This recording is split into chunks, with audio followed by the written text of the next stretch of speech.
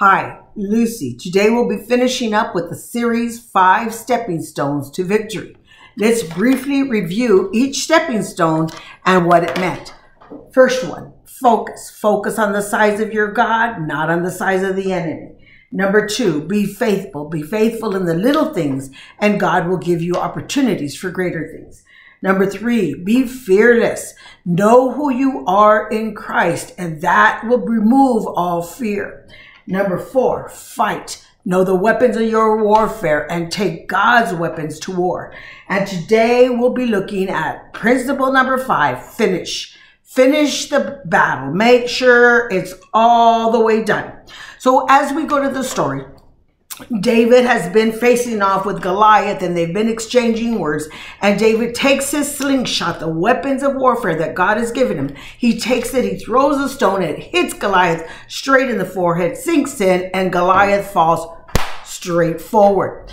It could have looked as that at that point that David was done. He could have been saying hooray, hooray, but he wasn't done because he knew that not only did God want to give him the victory, but God wanted to give victory to the entire army of the Israelites.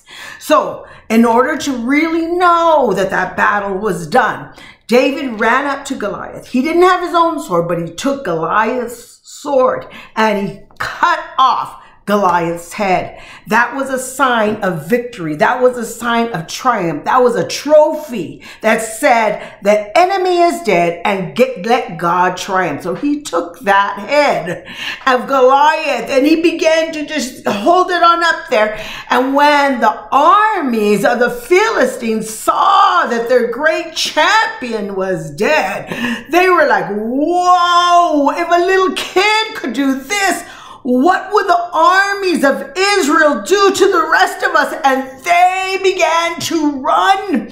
And the Bible says in James 4 7, submit yourself to God, resist the devil, and he will flee from you.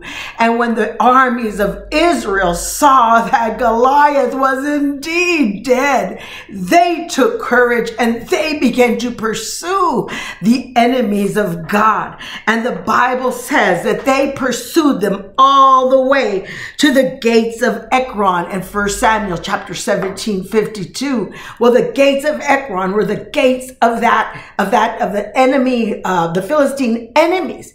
And you know, we are to be the army that pursues. The gates were the strongholds of the enemy. And in Matthew 16, 18, Jesus said, I will build my church and the gates of hell shall not prevail against it. Know who your God is. Know what battle he's given you. Know your weapons and pursue. Make sure you take it all the way to the finish. And the victory, the battle belongs to the Lord.